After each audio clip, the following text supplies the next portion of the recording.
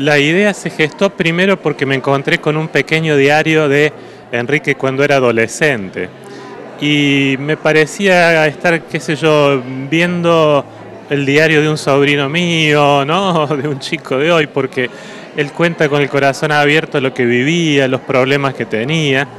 Entonces quise acercarme después a, los diarios de cuando era ya un poco más grande, 19 años, y empecé a ver cómo iba creciendo él como ser humano y como cristiano. Ese proceso, ese camino de transformación, lo que fue haciendo la gracia.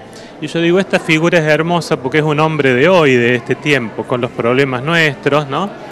Que nos estimula diciéndonos, mira, yo mm, luché con la gracia de Dios, me trabajé a mí mismo, me fui superando, logré mi vocación en la vida, ¿no? Vos también podés hacer lo mismo. Ahora nos adentramos un poco en el libro, en, las letras. Él tuvo un proceso importante de conversión, que creo que a quienes son llamados eh, es un gran desafío aceptarlo en primera instancia y creo que lo narró muy bien en, un par de textos que citó. Sí, eh, su conversión a Jesucristo fue temprana, su amor a Cristo lo tenía de niño, ¿no?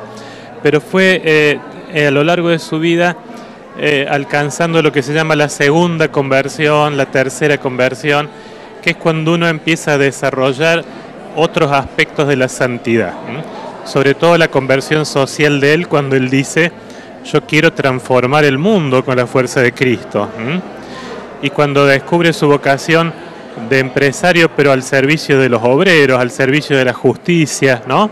Y entonces dice, yo quiero una economía distinta, ¿eh? yo quiero una sociedad distinta. Y es hermoso ver cómo se va dando ese proceso en su vida. un proceso que la gente va a poder conocer eh, a través de las letras de este libro, que ¿dónde se puede encontrar a partir de ahora? Este librito lo editó la editorial San Pablo, tiene una primera parte que cuenta su vida, de una manera fresca, cercana, con algunos textos de sus diarios, de sus libretitas, ¿no? Y una segunda parte que es una novena a Jesús, pero incorporando las enseñanzas de Enrique.